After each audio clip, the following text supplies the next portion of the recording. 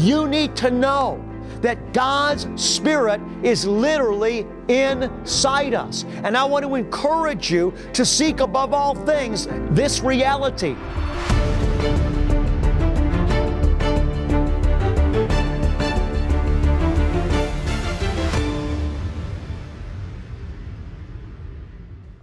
Now, as we continue on, we're going to uh, pick up reading uh, the words that Paul spoke that iterate exactly what I just said to you. Here it is in verse number 22 of Romans 7. All right, let's go to 21. I find then the principle that evil is present in me, the one who wishes to do good.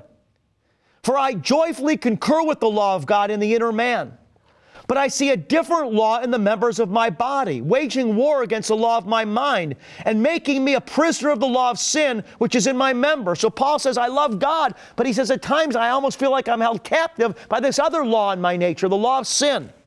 And then he goes on to describe, Wretched man that I am, who will set me free from the body of this death? And then he says, Thanks be to God through Christ Jesus, through Yeshua Mashiach our Lord. So that on the one hand, I myself with my mind, I'm serving the law of God, but on the other, with my flesh, the law of sin. But listen, beloved, I don't want you to take this to mean that he's living this double nature life. Paul talked about we resist sin. We resist sin with our heart, strength, soul, and mind. We present ourselves as instruments to God, but he's simply recognizing, beloved, the struggle of humanity. You see, within Judaism, we're taught that we have two natures that we have an evil inclination, and this is what Paul's describing here. He's actually talking from almost a rabbinic mindset here. There's an evil inclination. What would an evil inclination would be? An evil inclination would be the temptation to gossip. How many of you can relate to that? The temptation to want to know things that are not even worth knowing. They're unprofitable. They're, they're death. That's the evil inclination. So there's within men there's the evil inclination, then there's also when we're born again there's a good inclination, the God inclination. And we must rise up in God and crush the evil under our feet. And as we're living for the Lord, beloved, crushing the devil under our feet, the Lord wants us to know that when we slip, not because we've given us ourselves, not because we've given ourselves excuse to fall, but because we're trying our best but we're still human, God says, I still love you. I forgive you. Don't define yourself by that fall. You are mine. You are righteous. Let's continue on together. Pick yourself up. Let's continue to go on because I'm going to crush Satan under your feet completely and you will win the victory. Absolutely. You will be free indeed. So Paul continues now with this word in Romans 8 1. There is therefore now no condemnation for those that are in Christ Jesus. For the law of the Spirit of life in Messiah Yeshua has set me free from the law of sin and death. This is awesome. Get this now. First of all, Paul says, don't let yourself be condemned. Jesus paid for your sin. Don't allow condemnation to come upon you. Your sin has already been paid for. And then he says, secondly, not only has your sin been paid for, but get the next verse, Romans 8 2. Listen, that the law of the Spirit of life in Christ Jesus has set me free, he said, from the law of sin and death. Get that. The law of the Spirit of life in Yeshua Mashiach, Paul says, has set me free, Romans 8 2, from the law of sin and death. What is he saying? He's saying that even though I've got these two natures in my body, and at times I feel them waging war against each other, the, the flesh lusted against the spirit, and the spirit lusted against the flesh. There's this war inside me between my two natures. He said, I have the victory because the law of the spirit of life in me is the more powerful one. He says in Romans 8 2 once again, for the law of the Spirit of life in Christ Jesus has set me free from the law of sin and death. What is he saying? Not only am I forgiven, not only is there no condemnation on me, but the law of life that's in me is going to ascend above the law of death and crush it under its feet. In other words, beloved, if you have, for example, an airplane, there's, there, there's, when, you, when, when, when you look at an airplane, the law that the airplane contends with is the law of gravity. So when you look at a jet airplane, there's two laws that are at work in a jet airplane. Number one, there's the law of gravity. The law of gravity is pulling that jet down to the ground. The law of gravity is pulling that jet downward, trying to keep it earthbound. It's a very real power. It's a very real nature, you could say. But also operating in that airplane, in addition to the law of gravity, is the law of the jet engine that there's another law in the jet's engine, and that the law in the jet's engine is stronger than the law of gravity. So that even though the law of gravity is seeking to pull the jet down and to keep it connected to materialism and to the earth, the power of the engine in the jet is more powerful so that the jet is able to ascend through and above the law of gravity and to live above it. And that's what Paul's saying here. Thanks be to God that gives me the victory. The law of the Spirit of life in me is stronger than the law of death and sin in my members. The law of the Spirit of life, listen, has set me free from the law of death. Hallelujah. Read it again. For the law of the Spirit of life in the Christ Jesus has set me free from the law of sin and of death. And this is an awesome verse, beloved, that even though we're in this battle, it's not like it's a tie. It's not like we hope we can overcome. We will overcome, hallelujah, because Jesus inside us is greater than he that's in the world. The power that raised Yeshua from the dead lives in us, so we have the power to put the evil nature, beloved, to death under our feet. Thanks be to God that gives us the victory. And by the way, this verse here in Romans 8, 8, verse 2 can also be used in the law of healing. That when our body gets sick, when we get an infection, when we're dealing with some type of physical illness, we just begin to confess the law of the Spirit of life has set me free from the law of sin and death. I command you out sickness in Jesus' name. The law of the Spirit of life, hallelujah, has set me free from the law of sin and death. I am whole, I am healed in Jesus' name. The law of the Spirit of life, hallelujah, has set me free from the law of death. I am whole, I am healed, I am victorious, hallelujah. I live in victory in Jesus' name and for Jesus' fame. Glory to God and amen. Now let's continue on in verse number three. For what the law could not do, weak as it was through the flesh, God did sending His Son, His own Son, in the likeness of sinful flesh, as an offering for sin. He condemned sin in the flesh.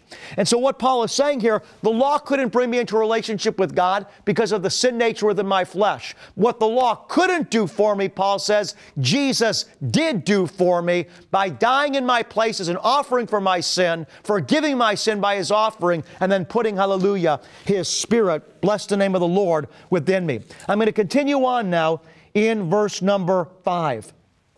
For those who are according to the flesh set their minds on the things of the flesh, but those who are according to the Spirit, the things of the Spirit. So this will help you know are you living in the flesh or are you living in the Spirit? And Paul actually defines the flesh. The things of the flesh are lust, envy, jealousy, murder, self ambition, gossip and all these things that are, that, are, that are fleshly, they're the nature of the world today. The world even esteems these things. But the law of the Spirit is fixing our mind on Jesus and overcoming by the Spirit of God in, in love and joy and hope, etc., etc. Confidence, courage in the Lord. Verse number six For the mindset on the flesh is death, but the mindset on the Spirit is life and peace. Because the mindset on the flesh is hostile towards God. For it does not subject itself to the law of God, for it is not even able to do so.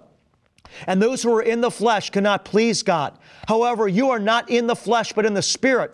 Here, how do we know if we're in the Spirit? Listen to this. If indeed the Spirit of God dwells in you, but if anyone does not have the Spirit of Christ, he does not belong to him. And if Christ is in you, though the body is dead because of sin, Yet the Spirit is alive because of righteousness. But if the Spirit of Him who raised Jesus from the dead dwells in you, He who raised Christ Jesus from the dead will also give life to your mortal bodies through His Son who indwells you. Paul is reiterating, beloved, what I just got done sharing on. That if God's Spirit is in us, we must set our mind on the Spirit.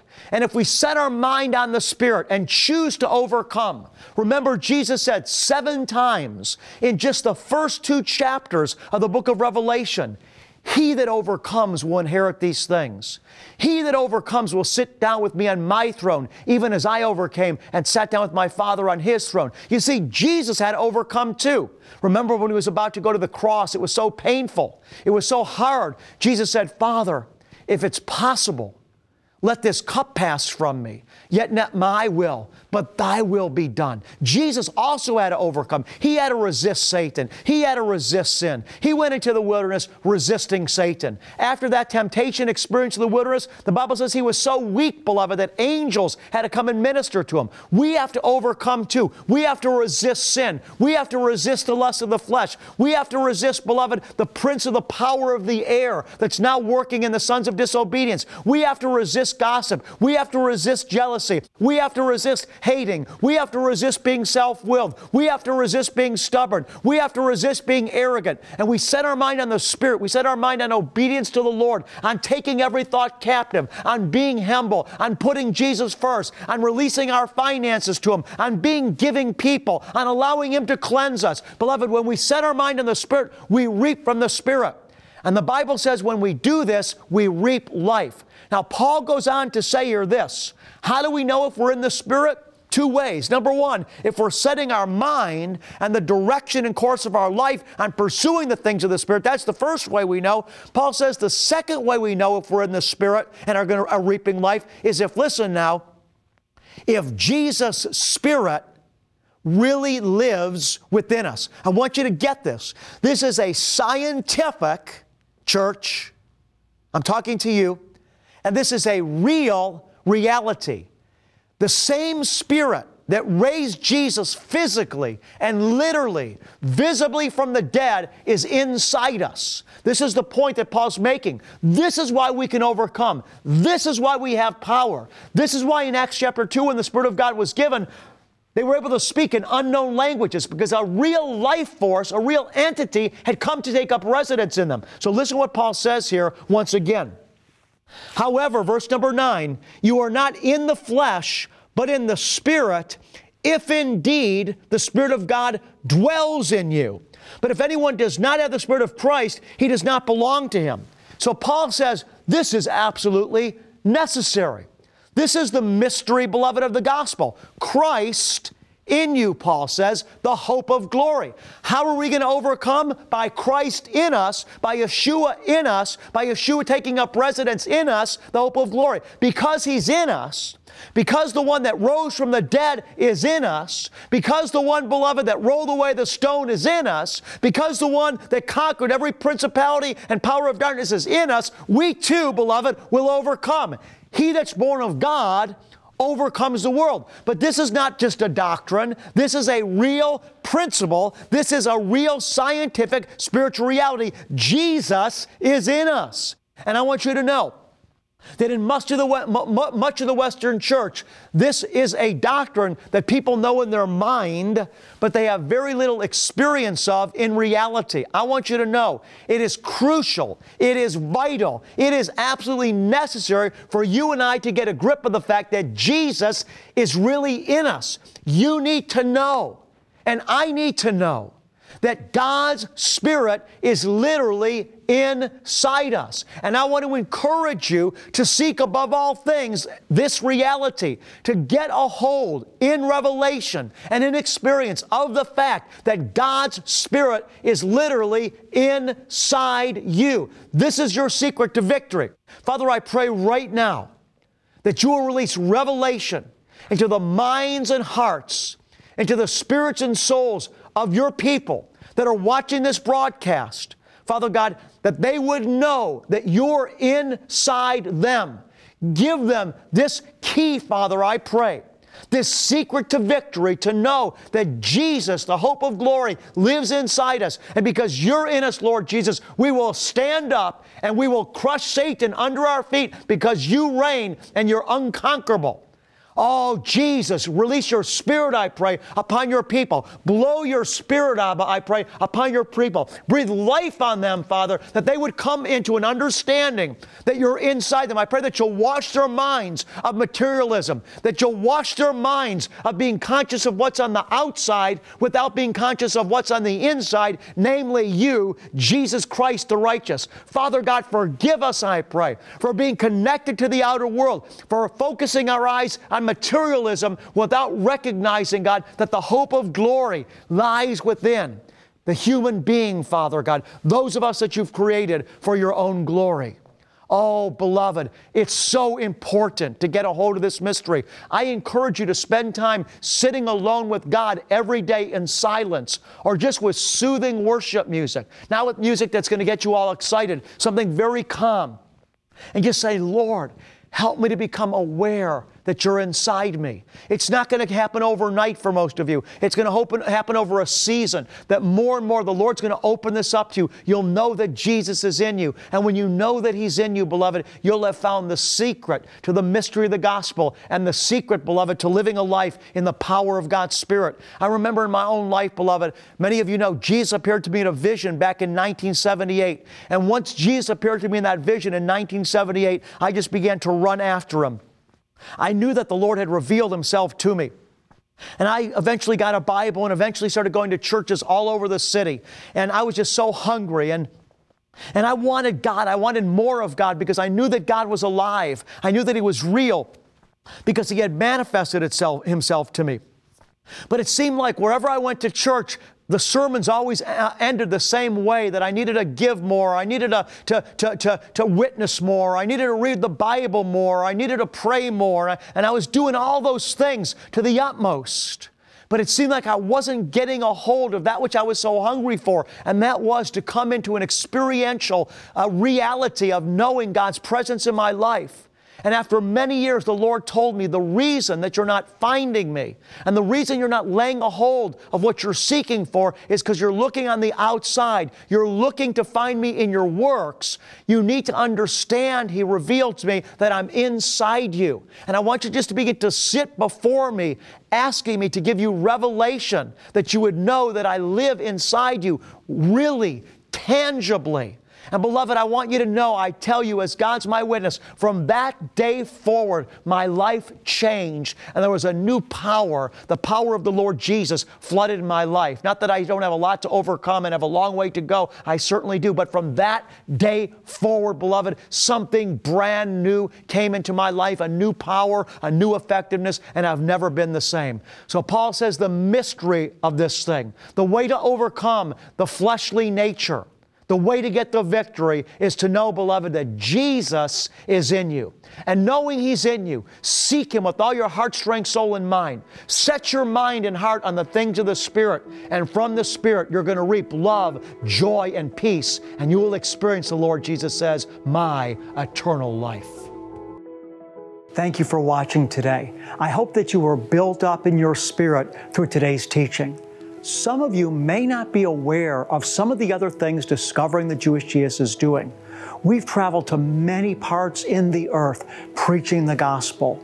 We've literally hosted events in Africa. People walk miles and miles, hours and hours from their villages to come and hear a Jew proclaim the gospel of King Jesus. We're reaching people that have no access oftentimes to television and, and the internet, and they're hearing the gospel proclaimed to them in a way that they understand. And many of them are turning their life over to the Lord. We've seen people's lives changed by the thousands. I want to ask you today if you believe in what we're doing, you believe in the message that you're hearing, you have a sense in your spirit that Rabbi Schneider is a true servant of God, I want to ask you to financially support my ministry. We need your help. We can't do it without you, beloved one. Even the making of this video, it costs money in terms of the cameras, the staff, all the different things that we do. And so together we make a difference. The people of God go together. You may not be able to go to some of the places that I go, but through supporting me, beloved, you'll have your portion and your reward because lives will be being changed because of your participation with us. The scriptures tell us when people are servants of the truth, we should support such men as these. So I want to thank you today once again as I ask you for your financial help. I believe, beloved, your help will make all the difference. I love you. This is Rabbi Schneider saying, God bless you and shalom.